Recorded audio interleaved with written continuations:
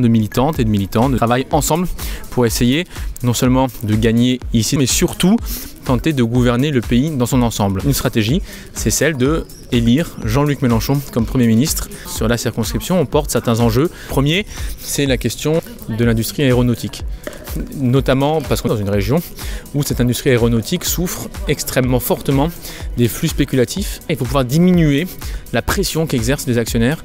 Ensuite, de maintenant jusqu'à la rentrée scolaire, en septembre, il faut adopter une série de mesures d'urgence. La hausse du SMIC, blocage des prix des biens de première nécessité, euh, la hausse des prestations euh, sociales. Une fois qu'on arrive au mois de septembre, il faut entamer la grande réflexion de la reconversion de l'outil productif. C'est ce qu'on appelle, nous, la planification écologique. Macron regarde combien il y a d'argent et il met l'argent disponible pour atteindre vaguement un objectif climatique qu'il n'atteint pas. Nous, c'est le contraire. On fixe l'objectif et derrière, on alloue impérativement les moyens nécessaires. L'urgence sociale et l'urgence climatique ne seront absolument plus jamais mises sous le tapis.